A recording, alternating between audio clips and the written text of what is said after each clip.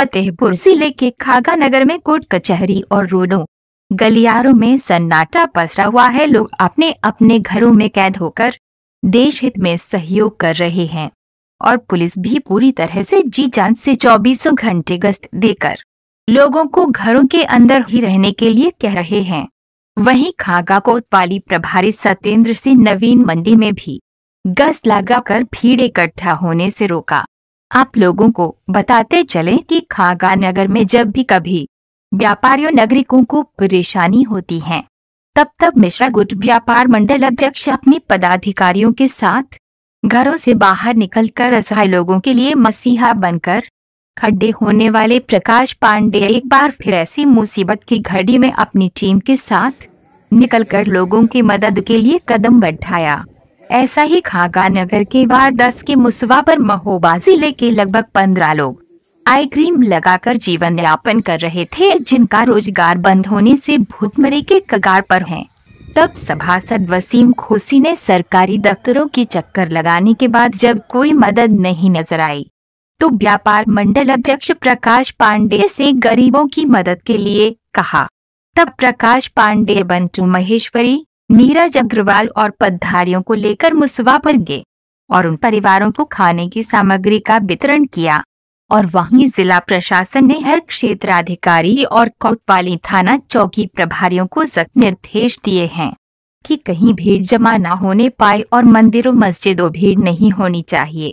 अगर कोई नहीं मानता तो अपने साथ एक खाली गाड़ी रखे, उसमें बैठाकर पुलिस स्टेशन लाकर 188 और 101 पर चालान करें, सख्ती से पेश आए नहीं जो समय छह बजे से नौ बजे तक का समय ज़रूरी काम के लिए है, उस पर अमल करें। आइए सुने उन परिवार और व्यापार मंडल। अध्यक्ष प्रकाश पांडे की जुबानी। एमपी यूजकास्ट ब्यूरो, संजय पटेल, कैमरामैन। सुमित के सरवानी और अजय मौर्य की कवरेज फतेहपुर से। कहते हैं जो कि जो जहाँ इस तरह के लोग हमको बताओ ऐसी बात नहीं बड़े भाई अगर कोई दे ना दे यहाँ पे होगी उनकी मदद फुल होगी।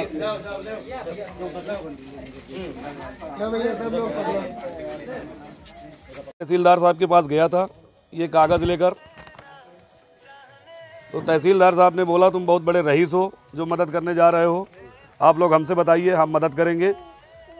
यहाँ के सभासद वार्ड नंबर दस के वसीम घोसी गए, फ़ोन किए, फ़ोन से उन्होंने वार्तालाप की तो उन्हें हम मदद नहीं कर पाएँगे।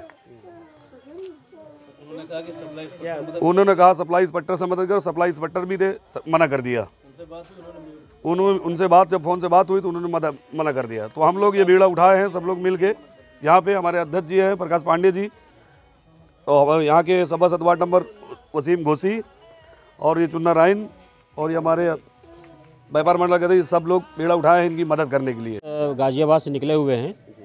और अभी हम लोग यहीं पे चौराहे पे देख रहे थे तो सराफा गली से लोग करीब दस बारह लोग हैं ये।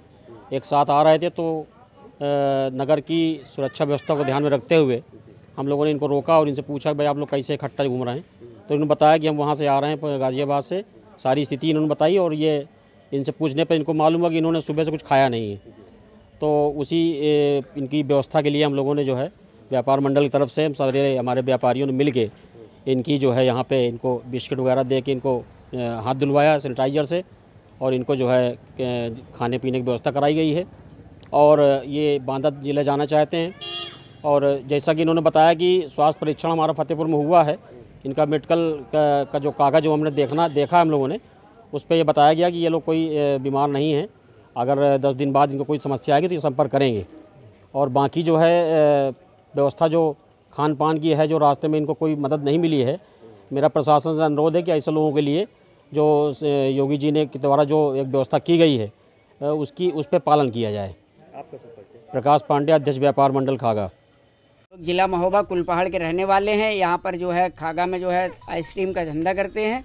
हम लोग खाने पीने के लिए परेशान हैं, जब से जो है बंदी हुई है एक एक रुपए के लिए परेशान है ना आटा है ना तेल है ना नमक है तो सभासद जी के पास हम लोग गए थे मदद के लिए। तो सभासद जी ने जो है एसडीएम साहब से तहसील तहसीलदार से जो है और यू साहब और सप्लाई इंस्पेक्टर से बात किया तो उन्होंने सीधा इनकार कर दिया मदद के लिए। तो बताइए हम लोग क्या करें? यहाँ जो है खा रहे हैं जो हम लोग बच्चे लिए हैं हम लोग परदेश में पड़े हुए हैं कोई सहारा नहीं हम लोगों का। सब यहाँ कितने लोग होंगे जो हम लोग जो है चौदह पंद्रह लोग हैं हम लोग यहाँ और कोई कोई धंधा है आइसक्रीम के अलावा नहीं, हमारे पास जो है आइसक्रीम का धंधा ही है और कोई धंधा नहीं है।